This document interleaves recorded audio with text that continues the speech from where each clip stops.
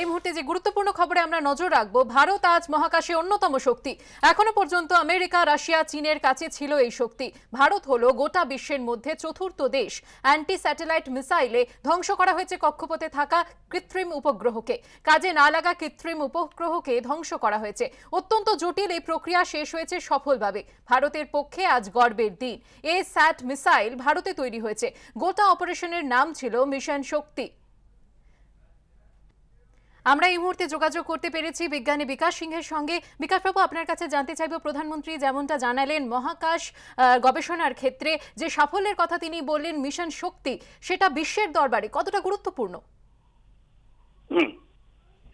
এই সম্বন্ধে আমার রিয়াকশন জানতে তো? হ্যালো আমি বলব? হ্যাঁ বলুন।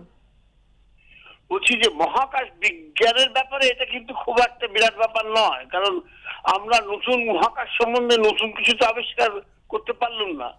কিন্তু security of India in terms of international ballistic missile থেকে আরম্ভ করে রকেটিং এটসেট্রা এটা একটা বিরাট পর্যায়ে বিষয়ে কোনো সন্দেহ নেই।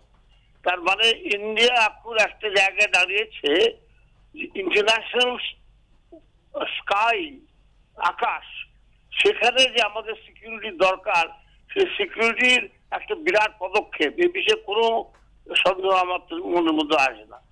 কিন্তু বিজ্ঞানের ব্যাপারে, আসল বিজ্ঞানের ব্যাপারে এমন কিছু যে বিরাট ঘটনা সেটা আমি মনে করি না।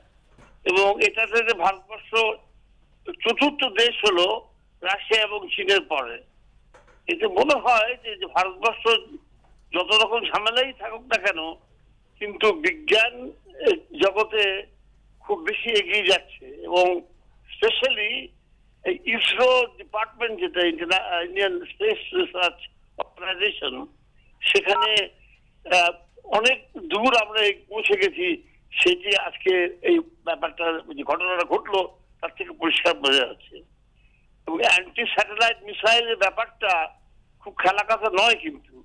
এবং এটা আমরা যে করতে পেরেছি, এটা বিজ্ঞানী হিসেবে আমি যথেষ্ট আনন্দ পেয়েছি। এ বিষয়ে কোনো সন্দেহ নেই। নমস্কার। অনেক ধন্যবাদ আপনাকে।